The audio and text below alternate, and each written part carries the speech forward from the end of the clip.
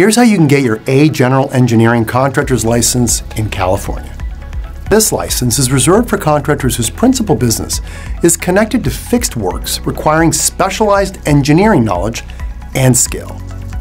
This typically includes work on highways, bridges, roads, tunnels, land leveling, and earth moving projects, excavating, paving, etc. If this sounds like the type of work that you perform, first, consider the requirements.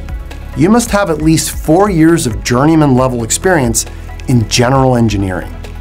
Journeyman level is defined as the experience gained when an individual is no longer a trainee or apprentice, and that individual can perform general engineering work without supervision.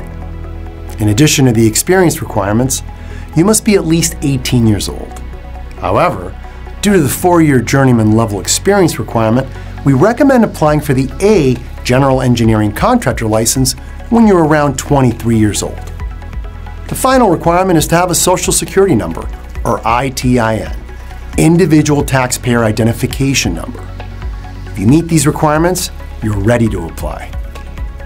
As a student at Contractors Intelligence School, your course includes a detailed timeline which will guide you through the licensing process. Videos will be provided to guide you every step of the way, including how to fill out an application, scheduling an exam, instructions on completing the live scan fingerprinting, and details on any additional steps required by the Contractor State Licensing Board. To begin the process, fill out the state application, which our staff will review and hand deliver to the Contractor's State Licensing Board for processing.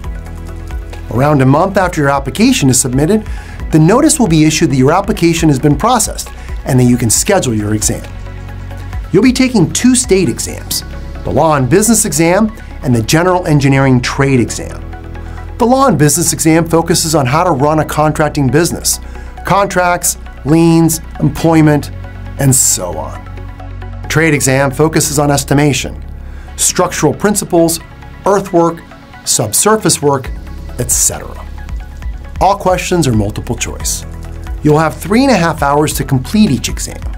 Both exams must be passed to obtain a contractor license number. Contractors Intelligence School will prepare you for these exams. While keeping your busy schedule in mind, our program is designed to be simple, time efficient, and guarantee success on your first try. Our course includes exam preparation videos which contain 3D illustrations and images for better comprehension. The reading material is carefully selected. We even provide an audio course for learning on the go. The practice tests combine the online, written, and audio elements and include the ever popular video explanations. You'll be able to access your course through our exclusive mobile app, giving you the flexibility to study anywhere. If you haven't signed up yet, you can create a free demo account and see what it's like to be a student. Link in the description below. After passing both exams with the Contractor State License Board, you'll receive instructions outlining the final paperwork needed before a general engineering contractor's license number is issued. Submitting this final paperwork and completing the final process can sometimes be tricky, but with our guidance, it couldn't be simpler. If you carry out all these steps, congratulations! You'll be a licensed general engineering contractor.